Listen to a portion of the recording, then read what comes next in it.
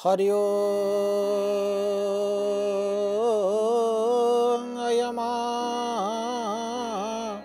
ब्रह्मकर्माय शुभं भवतु शुभं भवतु मङ्गलं भवतु। ॐ नमो भगवते श्रीपुरुषोत्तमाय ॐ नमो भगवते श्रीवासुदेवाय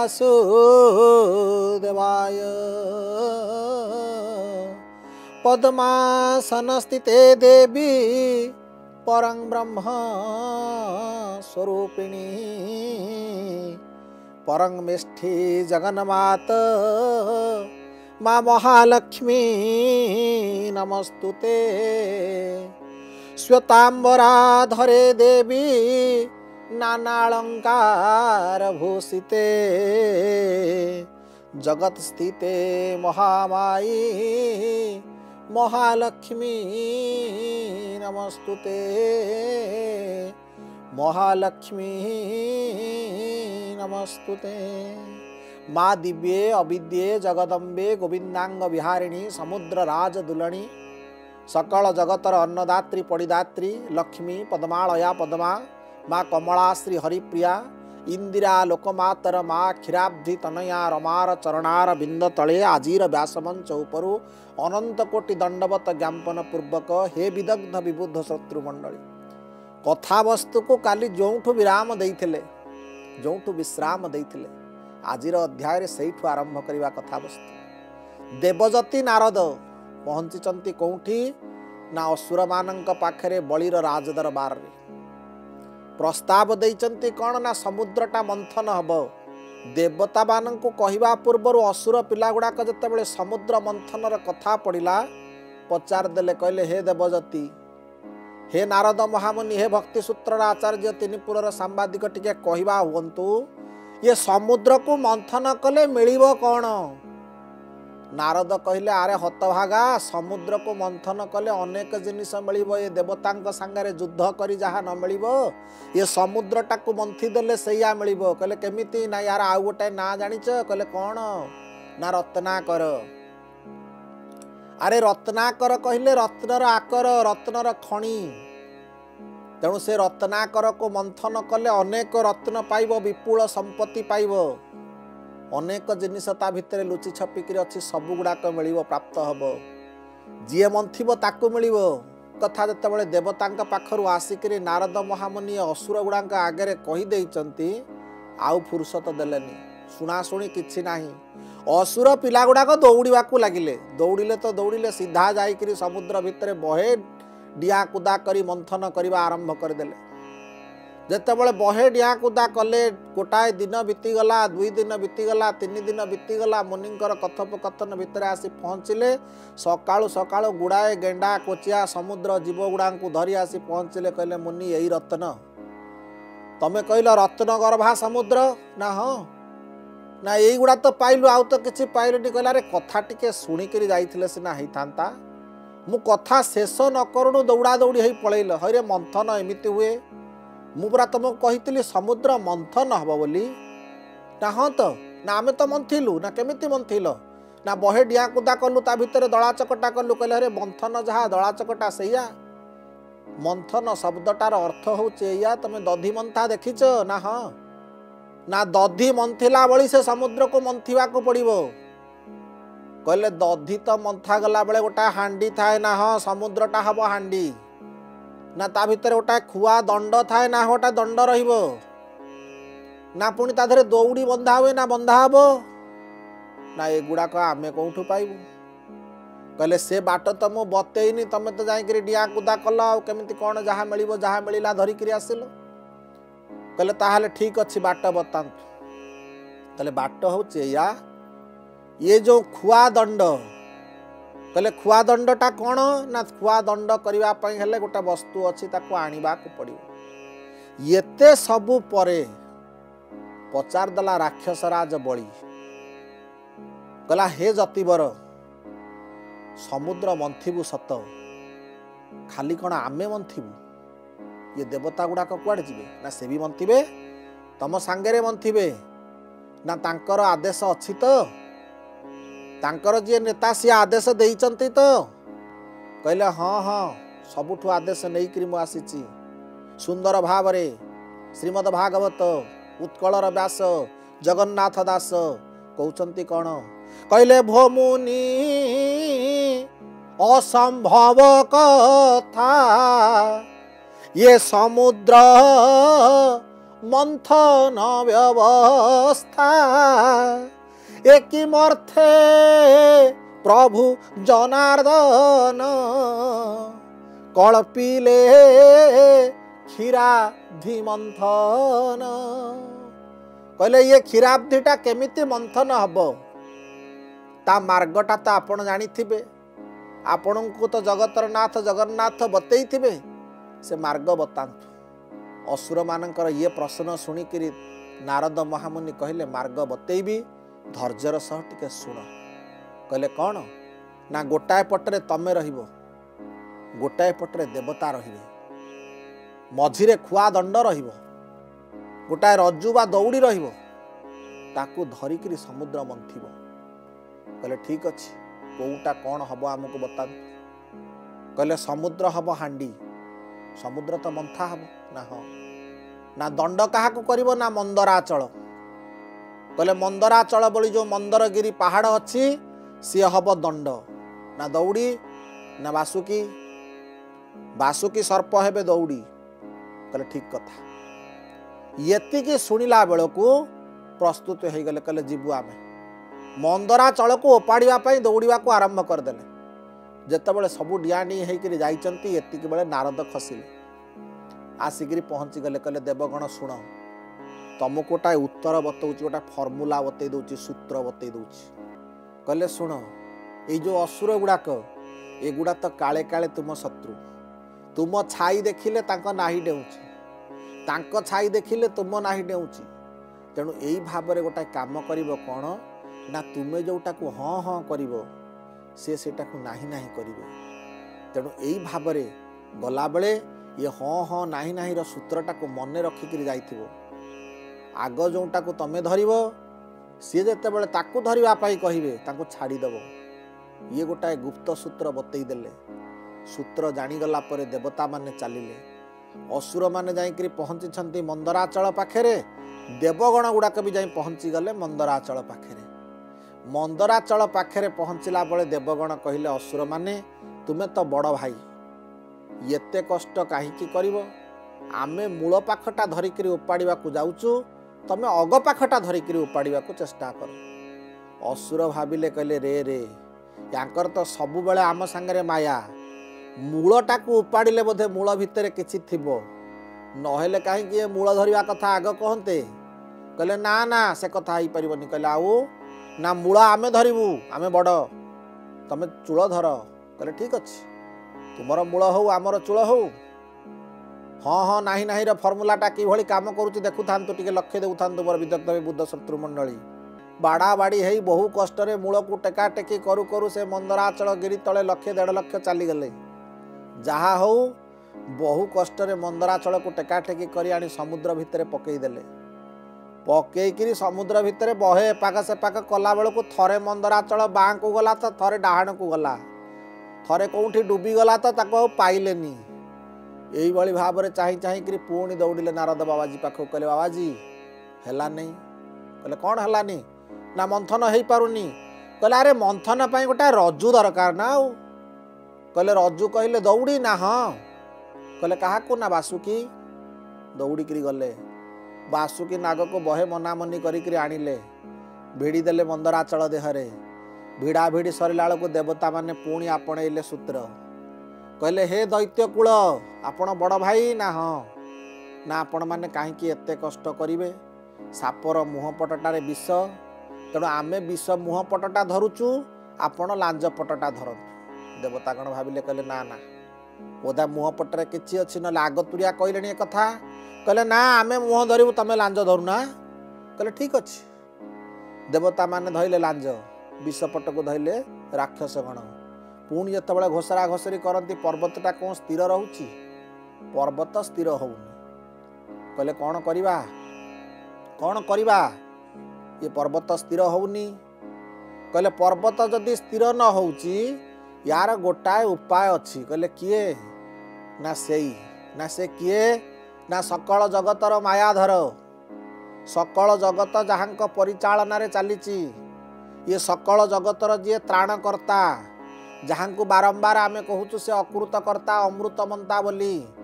ଯିଏ ସର୍ବ କାରଣ କାରଣ ଜଗଦୀଶ୍ୱର ହରି ଯାହାଙ୍କୁ ନାରାୟଣ ଯାହାଙ୍କୁ ବିଷ୍ଣୁ ଯାହାଙ୍କୁ ଭଗବାନ ଅନନ୍ତ ସବୁ ପ୍ରକାର ନାଁରେ ଆମେ ବର୍ଣ୍ଣନା କରୁଛୁ। ଯିଏ କୃଷ୍ଣ ଯିଏ ରାମ ସେଇ ଭଗବାନ ସ୍ୱୟଂ ନାରାୟଣଙ୍କ ପାଖକୁ ଯିବାକୁ ପଡ଼ିବ। କହିଲେ ତାଙ୍କ ପାଖକୁ ଗଲେ କ'ଣ ହେବ? ନା ତାଙ୍କ ପାଖରେ ଉପାୟ? କହିଲେ ଯିବା। ରାକ୍ଷସ କୂଳ ଯାଇକରି ପହଞ୍ଚିଲେ। କହିଲେ ପ୍ରଭୁ ଆପଣ ଆମକୁ ସହାୟ ହୁଅନ୍ତୁ। ଇଏ ସକଳ ଜୀବଜଗତର ଆପଣ ହେଉଛନ୍ତି ପାଳନକର୍ତ୍ତା। ସକଳ ଜୀବଜଗତ ଆପଣଙ୍କର ଅଧୀନ। ଆମେ ରକ୍ଷକୂଳ ହେଲୁ ବୋଲି। କ'ଣ ଆପଣ ଆମ ଅଧୀନକୁ ଆସିବେନି? ଆମକୁ ଦୟା ପରବଶ ହେବେନି? ଆମ ପାଇଁ କ'ଣ ଆପଣଙ୍କର ଆଶୀର୍ବାଦ ନାହିଁ ଖାଲି ସବୁ ଆଶୀର୍ବାଦ ଗୁଡ଼ାକ ଦେବତାଙ୍କ ପାଇଁ? ଆପଣ ନିରପେକ୍ଷ ବିଚାର କରନ୍ତି ଆପଣ ପକ୍ଷପାତିତା କରନ୍ତିନି ବୋଲି ଆମେ ଶୁଣିଛୁ। ଆମେ ଜାଣିଛୁ ଆପଣ ମର୍ଯ୍ୟାଦା ପୁରୁଷୋତ୍ତମ। କହିଲେ ଠିକ୍ ଅଛି। ଯିବି ଯେ। ଯାଇକିରି ମୁଁ କ'ଣ କରିବି? ନା ଆପଣ ଧରିବେ? କହିଲେ କାହାକୁ ଧରିବୁ? ନା ମନ୍ଦରାଚଳକୁ? କହିଲେ ହଇରେ ତମେ ଜାଣିଛ ମୁଁ ମନ୍ଦରାଚଳଟାକୁ କେଉଁଠି ଧରିବି? ନା ପିଠିରେ? ନାଇଁରେ ମୋ ପିଠି କେତେ କୋମଳ ତମେ ସେ କଥା ଜାଣିଛ? ଏ ଲୋହୁଣୀ ପୁତୁଳା ପରି ମୋ ଦେହ। ତମେ କ'ଣ ଶୁଣିନ? ମୋ ମା ଯଶୋମତୀ ମୋ ଦେହଟାକୁ କହିଛି ଲବଣୀ ପିତୁଳା ଭଳି ମୋ ଶରୀର। ଆଉ ଏ ଲବଣୀ ପିତୁଳା ଶରୀର ଉପରେ ମୁଁ ମନ୍ଦରାଚଳ ଭଳିଆ ପାର୍ବ ପର୍ବତକୁ ଧରିପାରିବି? ତୁଳସୀଦାସଜୀ ମହାରାଜ କହିଛନ୍ତି ରଘୁକୁଲ ପ୍ରତି ହେଉଛନ୍ତି ଦୀନ ଦୟାଲା ଆଉ ଅତି କୃପାଳା ପୁଣି ଅତି କୋମଳ ବୋଲିକିରି। ରଘୁକୁଳ ତିଳକ ଭାବରେ ଯେତେବେଳେ ଜନ୍ମ ଲାଭ କଲି ରାମଚନ୍ଦ୍ର ଭାବରେ ମୋ ଶରୀରଟା ଅତି କୋମଳ ତୁଳସୀଦାସଜୀ ମହାରାଜ ଏ କଥା କହିଛନ୍ତି। କହିଲେ ଏ କୋମଳ ଶରୀର ଉପରେ ମନ୍ଦରାଚଳକୁ ଧାରଣ କରିପାରିବି ତ? କହିଲେ ପ୍ରଭୁ ଆପଣ କ'ଣ ଭାବିଛନ୍ତି ଠକିଦେବେ ବୋଲି? କହିଲେ କ'ଣ ଠକିଲି? ନା ଆପଣଙ୍କର ଗୋଟେ ରୂପ ଅଛି ଆମେ ଜାଣିଛୁ। କହିଲେ କ'ଣ? ନା କଚ୍ଛପ ରୂପ। କଚ୍ଛପ ରୂପ ଆପଣ ଧାରଣ କରିନଥିଲେ? କହିଲେ ହଁ। କହିଲେ କଚ୍ଛପ ରୂପଟାର ତ ପିଠି ଭାଗଟା ଭାରି ଟାଣ। ପିଠି ଉପରେ କଚ୍ଛପକୁ ଯେତେ ବାଡ଼େଇଲେ ତାର କିଛି ହବନି। ସବୁଯାକ ଶରୀରକୁ ଭିତରେ ପୁରେଇ ଦେଇକିରି ସେ ପିଠିର ହେଲମେଟ୍ ଭଳିଆ ତାକୁ ରକ୍ଷା କରିକି ରହିଥିବ। ତେଣୁ ଆପଣ ସେଇ କଚ୍ଛପ ରୂପ ହେଇକିରି ଯଦି ଏ ପାହାଡ଼ଟାକୁ ଧରିବେ ତେବେ ଆପଣଙ୍କ ଉପରେ ସ୍ଥିର ହେଇଯିବ ଏ ମନ୍ଦରାଚଳ ମନ୍ଦରଗିରି। ଆମେ ହୁଏତ ଦେବକୂଳ ରକ୍ଷକୂଳ ଦିପଟରେ ଦୁଇ ଜଣ ଧରିକିରି ୟାକୁ ଖୁଆଦଣ୍ଡ ଭଳିଆ ଇଏ ସମୁଦ୍ରକୁ ମନ୍ଥିବା ଆରମ୍ଭ କରିଦେବ ପ୍ରଭୁ କହିଲେ ଭଲା ଅଡ଼ୁଆରେ ପକେଇଲରି। ଆରେ ପୁଣି ଥରେ କଚ୍ଛପ ରୂପ ହେବି ନା ହଁ ଆପଣ ହେବେ ନା ନହେଲେ କେମିତି ହବ? ପ୍ରଭୁଙ୍କ ପାଖରୁ ଯେତେବେଳେ ଏକଥା ଶୁଣିଦେଲେ ପ୍ରଭୁ କହିଲେ କଚ୍ଛପ ହେବି ଯେ କିନ୍ତୁ ଗୋଟାଏ ସର୍ତ୍ତ। କହିଲେ କ'ଣ ସର୍ତ୍ତ? ନା ଯେଉଁ କଣ୍ଡିସନ ବା ସର୍ତ୍ତ ରହିବ ସେ ସର୍ତ୍ତରେ ତମେ ସମସ୍ତେ ରାଜି ହେବାକୁ ପଡ଼ିବ। ତମେ ଦେବକୂଳ ରାଜି ହେବ ହଁ ଭର। ତମେ ରାକ୍ଷସ କୂଳ ରାଜି ହେବ ହଁ ଭର। ଦେବତା କୂଳଙ୍କର ତ ଅସମ୍ଭବ ସ୍ଥିତି। ହଁ ନ ଭରିବାକୁ ବାଟ ବା କାହିଁ କହିଲେ ପ୍ରଭୁ ଆପଣ ଯାହା କରିବେ ଆମେ ରାଜି ରକ୍ଷସ କୂଳ ଗୁଡ଼ା କହିଲେ ପ୍ରଭୁ ସର୍ତ୍ତଟା କ'ଣ ଟିକେ ଶୁଣିଥାନ୍ତୁ? ନା ଶୁଣ। ଯଦି ସର୍ତ୍ତ ଶୁଣିବ ଶୁଣ। କହିଲେ କ'ଣ? ନା ସବୁଠୁ ଯାହା ଭଲ ବସ୍ତୁ ବାହାରିବ ସମୁଦ୍ର ମନ୍ଥନ କରିବ? ନାରଦ ମହାମୁନି ବତେଇଛନ୍ତି ନା ହଁ। ନା ରତ୍ନଗର୍ଭା? ନା ହଁ। ରତ୍ନାକର? ନା ହଁ। ନା ତା ଭିତରୁ ସବୁଠୁ ଯେଉଁଟା ଭଲ ବସ୍ତୁ ସେଇ ବସ୍ତୁଟାକୁ ମୁଁ ନେବି। ହେଲେ ରାକ୍ଷସ କୂଳ ହଁ ମାରିଦେଲେ। କହିଲେ ଶୁଣନ୍ତୁ ଯାହା ଭଲ ବସ୍ତୁ ମିଳିବ ଯେଉଁଟା ସବୁଠୁ ଭଲ ବସ୍ତୁ ଆପଣ ନିଅନ୍ତୁ। ଆମର ମନ ଦୁଃଖ ନାହିଁ। ଉଦାର ଚେତା ରାକ୍ଷସଗଣ ଆଉ ଯେଉଁ କଚ୍ଛପ ଅବତାର ପ୍ରଭୁ ନେବେ ଦେଖନ୍ତୁ କେଡ଼େ ସଂଯମୀ ସେ କଚ୍ଛପ। କଚ୍ଛପ ପାଖରୁ ଆମେ ସଂଯମତା ଶିକ୍ଷା କରୁ। କ'ଣ ଶିକ୍ଷା?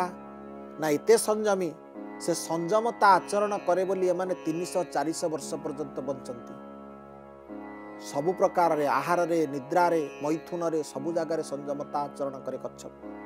ସେଇଥିପାଇଁ ଏ କଚ୍ଛପର ଜୀବନ ଗତି ଅତି ମାଧୁର୍ଯ୍ୟମୟ। ଏ କଚ୍ଛପର ଜୀବନ ଅତ୍ୟନ୍ତ ଦୀର୍ଘାୟୁ ଜୀବନ। ବାହାରଟା ପାହାଡ଼ ପଥର ଭଳି ଟାଣ ଭିତରଟା ପୁଷ୍ପ ପରି କୋମଳ। ତେଣୁ ସେଇ କଚ୍ଛପ ଅବତାର ହେବା ପାଇଁ ପ୍ରଭୁ ଯେଉଁ ସର୍ତ୍ତ ରଖିଲେ ପ୍ରଥମ ସର୍ତ୍ତରେ ହୁଏତ ରାଜି ହେଇଗଲେ କିଏ? ନା ରାକ୍ଷସ ରାଜି ହେଲେ ବାଧ୍ୟ ହେଲେ ଦେବତା ରାଜି ହେବା ପାଇଁ। ତାପରେ ପ୍ରଭୁ କହୁଛନ୍ତି ଆଉ ଗୋଟାଏ ସର୍ତ୍ତ ଅଛି। କହିଲେ କ'ଣ? ନା ଯାହା ବାହାରିବ ଏ ସମୁଦ୍ର ମନ୍ଥନ ହବ ଯାହା ବାହାରିବ ସବୁ ଉପଯୋଗ ହବ। ସମୁଦ୍ରକୁ କିଛି ଆଉ ନିକ୍ଷେପ ହବନି। ସମୁଦ୍ରରୁ ଯାହା ବାହାରିବ ଉପଯୋଗ ହବ। କହିଲେ ଠିକ ଅଛି। ଏଥିରେ ବି ଆମେ ଅରାଜି ନୁହଁ। ଯାହା ବାହାରିବ ସମସ୍ତେ ବାଣ୍ଟି କୁଣ୍ଟିକିରି ନେବା। କଥା ହେଇଗଲା। ସମୟ ଠିକ ହେଇଗଲା ନିର୍ଘଣ୍ଟ ଠିକ ହେଇଗଲା ବେଳକାଳ ଠିକ ହେଇଗଲା ନାରଦ ମହାମୁନି ମଧ୍ୟସ୍ଥି ସାଜିଲେ ସାଜିକିରି ସବୁ ପ୍ରକାର ଠିକ ଠାକ ହେଇଗଲା ବେଳେ ଠିକ ହେଇଗଲେ କିଏ? ନା ପୃଷ୍ଠ ରହିଲେ କଚ୍ଛପ କଚ୍ଛପଙ୍କ ଉପରେ ମନ୍ଦରଗିରି ହେଲେ ଖୁଆଦଣ୍ଡ ବାସୁକି ନାଗ ହେଲା ଦୌଡ଼ି ଗୋଟେ ପଟରେ ଦେବତା ଲାଞ୍ଜ ପଟକୁ ଧଇଲା ବେଳେ ମୁହଁ ପଟକୁ ଅସୁର। ଏଇଭଳି ଭାବରେ ଚାଲିଲାରେ ବାବା ସମୁଦ୍ର ମନ୍ଥନ। ସମୁଦ୍ର ମନ୍ଥନ ଯେତେବେଳେ ଚାଲିଛି ମନ୍ଥନ ତ ଆରମ୍ଭ ହେଇଗଲା ଯେତେବେଳେ ଧୂଳି ଧୂଆଁ ଉଡ଼ିକିରି ସମୁଦ୍ର ମନ୍ଥନ ଆରମ୍ଭ ହେଲା। ଅପୂର୍ବ ଭାବରେ ଗୋଟେ ପଟରୁ ଭିଡ଼ୁଛନ୍ତି ଦେବଗଣ ଆର ପଟରୁ ରକ୍ଷକୂଳ।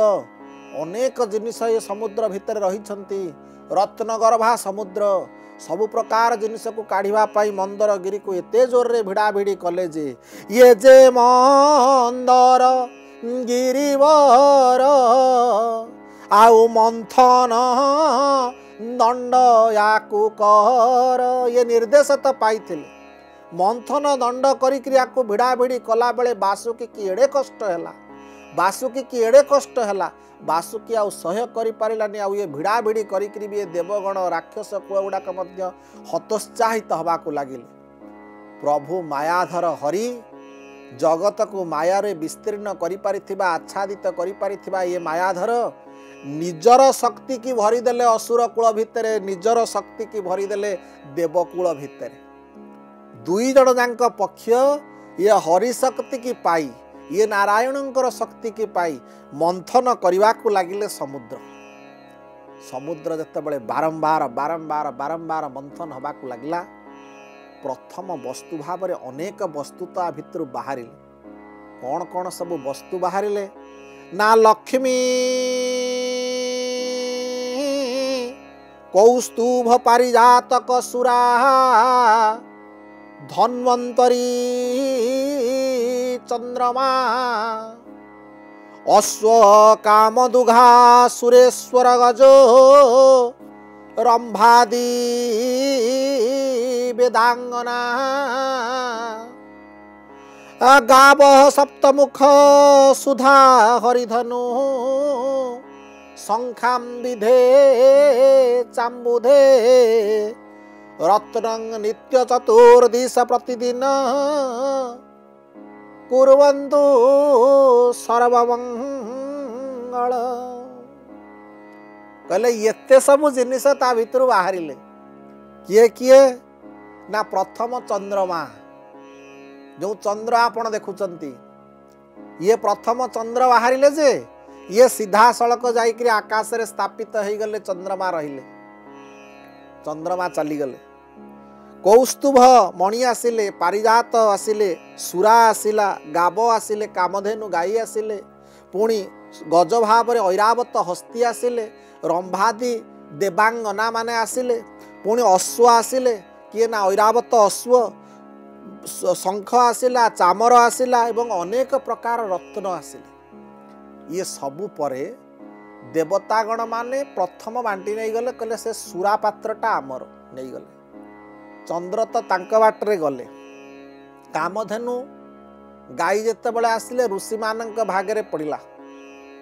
ଇଏ ସବୁ ଯେମିତି ପରସ୍ପର ପରସ୍ପର ଭାଗରେ ଭାଗବଣ୍ଟା ଚାଲିଥିଲା ବେଳେ ହଠାତ୍ ଗୋଟାଏ ପାତ୍ର ଧରିକିରି ଆସିଲେ ଜଣେ ସେ କିଏ ନା ସେ ଧନ୍ୱନ୍ତରୀ ଦେବକୂଳର ବୈଦ୍ୟ ସାଜିଲେ ଆୟୁର୍ବେଦ କୂଳର ସେ ହେଉଛନ୍ତି ଆଚାର୍ଯ୍ୟ ଆୟୁର୍ବେଦ କୂଳର ଆଚାର୍ଯ୍ୟ ଭାବରେ ଧନ୍ୱନ୍ତରୀ ଆସିଲେ ୟାଙ୍କ ପରେ ପରେ ସକଳ ଦେବଗଣ ଚାହିଁଛନ୍ତି ଏପଟରେ ବରୁଣ ରାଜା ଅସ୍ତବ୍ୟସ୍ତ ଆଉ ସମ୍ଭାଳି ପାରୁନି ବରୁଣ ରାଜା। କ'ଣ କରିବ କ'ଣ କରିବ ବୋଲି ତ୍ରାହି ତ୍ରାହି ଡାକିଲାଣି। ବରୁଣ ରାଜା ଭାବୁଛି ଆଜି ଏ କି ପ୍ରକାର ମାୟା ଇଏ କେଉଁ ମାୟା କ'ଣ ପାଇଁ ଇଏ ପ୍ରଭୁଙ୍କର ଏ ନିର୍ଦ୍ଦେଶ? ବରୁଣ ରାଜା ଏଇଭଳି ଭାବରେ ବିକଳତା କରୁଥିଲା ବେଳେ ଉତ୍କଳର ବ୍ୟାସ ଜଗନ୍ନାଥ ଦାସ ମନେ ମନେ କହୁଛନ୍ତି ଭାଷାରେ ନିରନ୍ତର ପରିପ୍ରକାଶର ଭାଷା ନେଇ କହୁଛନ୍ତି ଜଗନ୍ନାଥ ଦାସ। କହିଲେ କି ମର୍ଥେ ପ୍ରଭୁ ଜନାର୍ଦ୍ଦନ। ଆଉ କଳପିଲେ କ୍ଷୀରାଧି ମନ୍ଥନ କହିଲେ କେଉଁ ଅର୍ଥରେ? କ'ଣ ଦୋଷ କରିଥିଲି? କ'ଣ ପାପ କରିଥିଲି? ଇଏ ବନରାଜି ଗୁଡ଼ାକର ରସଗୁଡ଼ାକୁ ଆଣି ସବୁ ବନରାଜିକୁ ଆଣିକିରି ଦଳା ଚକଟା କରି ତା ଦେହରୁ ଯେଉଁ ରସ ବାହାରିଲା ସେ ରସକୁ ଢାଳିଦେଲେ। ଏ କ୍ଷୀର ସିନ୍ଧୁ ଦେହରେ କ୍ଷୀର ସିନ୍ଧୁ ହୁଏତ କ୍ଷୀର ଦଧିରେ ପରିବର୍ତ୍ତିତ ହେଲା। ତାକୁ ପୁଣି ଥରେ ଆଜି ମନ୍ଥନ କରିବାରେ ଲାଗିଛନ୍ତି। କ'ଣ ପାଇଁ ଏ ମନ୍ଥନ? ଆଜି ସକଳ ଜୀବକୂଳ ଯେତକ ବାସ କରୁଥିଲେ ସମୁଦ୍ର ଭିତରେ ସମସ୍ତେ ଅସ୍ତବ୍ୟସ୍ତ। ସମୁଦ୍ରରେ ବାସ କରୁଥିବା ସକଳ ଜୀବଗଣଙ୍କର ହାହାକାର ଡାକ ତ୍ରାହି ତ୍ରାହି ଡାକ। ସ୍ୱୟଂ ବରୁଣ ଆଜି ମଧ୍ୟ ଅସ୍ତବ୍ୟସ୍ତ। ସପରିବାର ଏ ବରୁଣ ଅସ୍ତବ୍ୟସ୍ତତା ଲାଭ କରୁଥିଲା ବେଳେ ପତ୍ନୀ ନୀରାବତୀ। ବରୁଣଙ୍କର ସ୍ତ୍ରୀର ନାଁ ହେଉଛି ନୀରାବତୀ। ନୀରାବତୀ ଆସିକରି ହାତ ଯୋଡ଼ିଲେ କହିଲେ ହେ ବରୁଣ ଦେବ ହେ ପତି ଦେବ ଇଏ କି ଅବସ୍ଥା? ଏ ରାଜ୍ୟ ଆମର ଆଉ ରହିବ ତ? ଇଏ ଯେଉଁ ପ୍ରକାର ସଂଗ୍ରାମ ଚାଲିଲାଣି ଏ ଦେବାସୁରଙ୍କର ଯେଉଁ ମନ୍ଥନ ଇଏ ମନ୍ଥନ ଭିତରେ ହୁଏତ ଆଉ ଏ ରାଜ୍ୟ ଆମର ରହିବନି। କ'ଣ କରିବା କ'ଣ କରିବା କ'ଣ କରିବା ବୋଲି ଏଇ ଚିନ୍ତା ଚେତନା ଭିତରେ ଥିଲାବେଳେ ଆଜି ହୁଏତ ସମୟ ଇଙ୍ଗିତ ଦେଲାଣି। ତେଣୁ ଇଏ ସମୁଦ୍ର ମନ୍ଥନକୁ ଆଜି ଏଇଠୁ ରଖିବା ପରବର୍ତ୍ତୀ ପର୍ଯ୍ୟାୟରେ ଯାହା ଘଟିବ ନିଶ୍ଚୟ ଜାଣିବା ଆଗାମୀ ଅଧ୍ୟାୟରେ ଆଗାମୀ ଅଧ୍ୟାୟର ଅପେକ୍ଷାରେ। ନମସ୍କାର।